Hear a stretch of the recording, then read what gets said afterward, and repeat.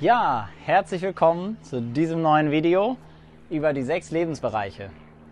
Und das Video schließt ein bisschen an an dem Video der tödlichste Ver äh, Fehler der Karriereplanung. Und ähm, da habe ich schon über einige der Bereiche gesprochen. Und hier möchte ich dir heute äh, eine Möglichkeit an die Hand geben, eine Standortbestimmung zu machen, auch zu sehen, welchen Feldern du vor allem wachsen möchtest oder wo du vielleicht dich noch mit zu wenig Respekt behandelst im Moment. Mein Name ist David Polte, ich bin Fokustrainer und Führungskräftetrainer und dieser Kanal heißt Was zählt, weil es hier immer darum geht, was zählt wirklich im Leben und wie können wir das in den Fokus bekommen. Du hast einen besonderen Vorteil bei der Übung, denn wenn es dir gelingt, schon in, ähm, diese Bereiche in Balance bekommen, dann kannst du schon in jungen Jahren ein Glück und eine Gelassenheit im Leben erfinden, die viele Menschen spät oder nie erreichen. Und du hast noch eine zweite Möglichkeit, das mit einem Booster zu versehen, nämlich wenn du die Übung mit, einem, mit einer Freundin oder einem Freund zusammen machst. Und damit würde ich sagen, lass uns reinstarten, wie das Ganze funktioniert. Es macht also Sinn, bis zum Ende dran zu bleiben. Wir haben hier sechs Lebensbereiche und diese Lebensbereiche sind Liebe und Partnerschaft, Körper, Gesundheit, Karriere und Arbeit, Finanzen, soziales Umfeld und Sinn. Du kannst beliebig weniger nehmen oder mehr nehmen. Du findest bei jedem ähm, Persönlichkeitstrainer oder Führungskräftetrainer irgendwo so eine Übung mit fünf bis neun Kategorien. Häng dich also nicht dran auf, wenn dir eine Kategorie nicht gefällt. Aber die Idee ist schon, dass du, wenn du in einem der Bereiche so ganz unzufrieden bist, in der Regel nicht so gut durchs Leben kommst. Und wenn du in mehreren ganz unzufrieden bist, noch schwieriger. Wenn du hingegen in allen das Gefühl hast, im Driver Seat zu sein, also die, dein Leben zu gestalten, wird es dir ziemlich sicher gut gehen.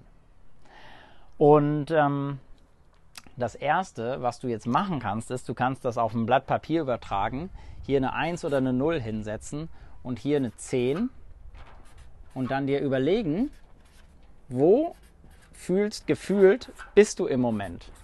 Wenn hier eine Skala von 1 bis 10 ist.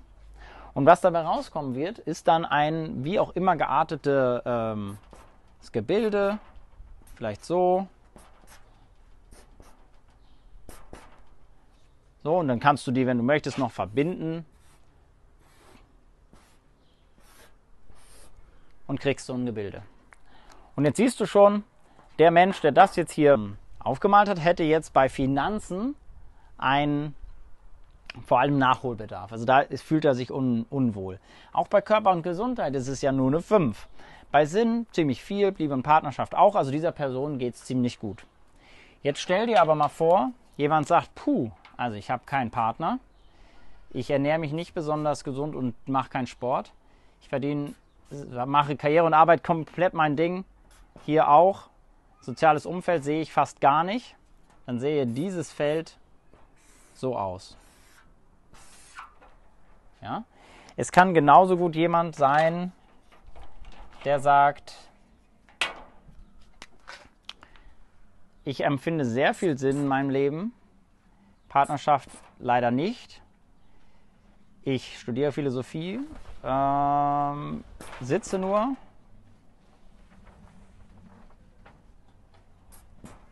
Habe keinen Job, kein Geld und gehe ganz viel mit meinen Freunden aus.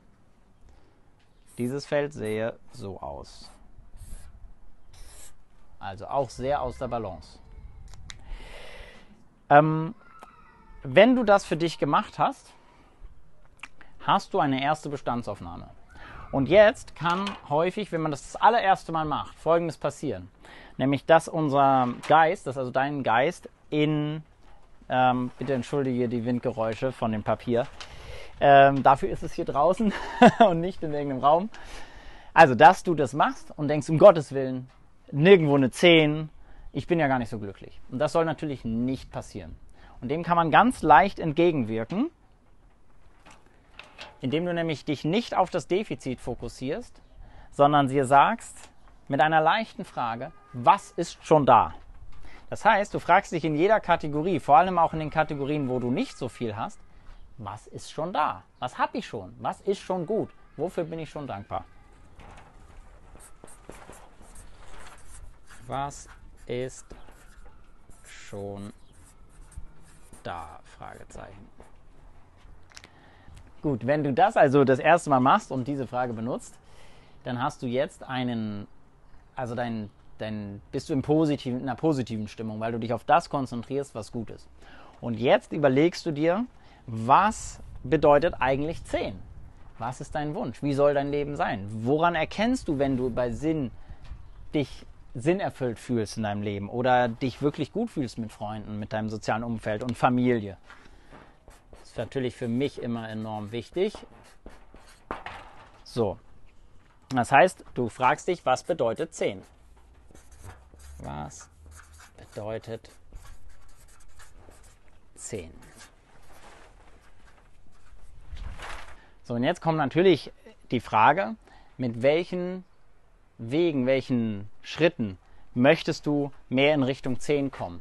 Diese Frage musst du aber nicht übertreiben. Du brauchst dir keinen riesen Druck machen oder riesen Maßnahmenpläne ausarbeiten. Die reine Klarheit, was 10 ist und wo du momentan stehst und dass eine Balance hieraus zu einem erfüllten Leben sehr, sehr schnell und sehr viel beitragen wird, reicht schon, um die richtigen Schritte zu gehen.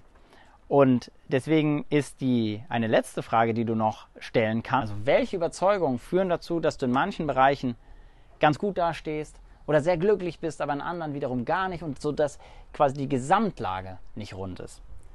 Diese Frage kannst du auch nochmal mitnehmen. Was du da identifizierst, lass es los, weil es führt nicht zu einem erfüllten Leben. Und dann wünsche ich dir ganz viel Erfolg. Bin ganz sicher, dass du damit sehr schnell in eine ausgeglichenere, rundere Situation findest. Und wenn du das vertiefen willst, dann habe ich noch für dich hier eingeblendet das Video der tödlichste Fehler der Karriereplanung und außerdem mein Video zu dem Thema gefährlicher Tipps von Erfolgsgurus, arbeite hart, arbeite hart. Das ist nämlich, wie du siehst, ein wenig einseitig und es lässt sich schlauer anpacken. In diesem Sinne freue ich mich natürlich über ein Abo dieses Kanals und ein Like, wenn es dir gefallen hat.